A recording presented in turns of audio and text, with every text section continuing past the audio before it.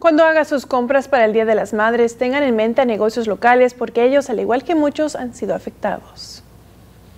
Hace aproximadamente tres años se abrió la primera tienda guatemalteca en la ciudad de Tulsa y el propietario decidió que llevara el nombre del lugar de donde proviene. Desde que se abrieron las puertas de Plaza San Cristóbal, han sido bien recibidos y clientes nunca faltan, pero aún así fueron afectados por la pandemia del COVID-19. Nos ha afectado con lo que es el abastecimiento del producto.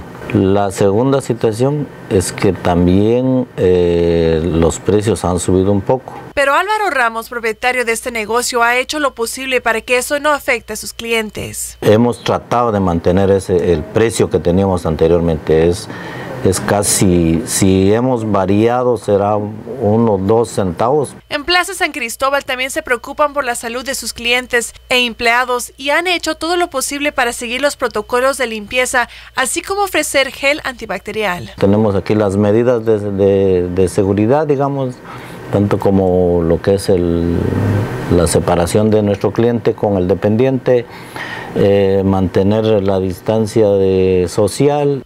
Este negocio continúa fuerte durante esta pandemia y esperan continuar creciendo y ofreciendo productos no solo de Guatemala, sino también de México y de países centroamericanos.